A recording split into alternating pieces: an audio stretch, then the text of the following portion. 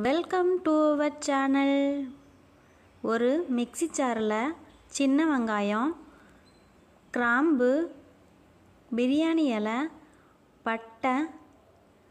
சோம்பு கூடவே இஞ்சி பூண்டு பேஸ்ட்டு சேர்த்து அரைச்சிக்கிறலாம் அது கூடவே தக்காளியை சேர்த்து அரைச்சிக்கிட்டு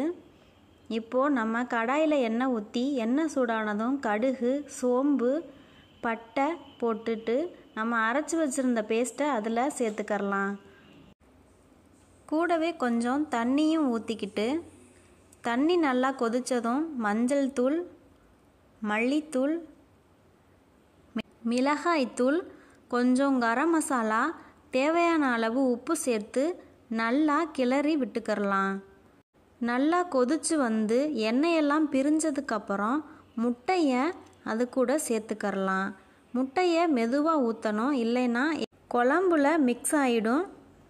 அடுப்பை லோ ஃப்ளேம்லையே வச்சுக்கிறோங்க கொஞ்ச நேரம் கழித்து நமக்கு உடைத்து ஊற்றிய முட்டை குழம்பு ரெடி ஆயிரும். இந்த வீடியோ உங்களுக்கு பிடிச்சிருந்தா லைக் பண்ணுங்கள் ஷேர் பண்ணுங்கள் நம்ம சேனலில் நீங்கள் இன்னும் சப்ஸ்கிரைப் பண்ணாமல் பார்க்குறீங்கன்னா உடனே சப்ஸ்கிரைப் பண்ணுங்கள் தேங்க்யூ ஃபார் வாட்சிங்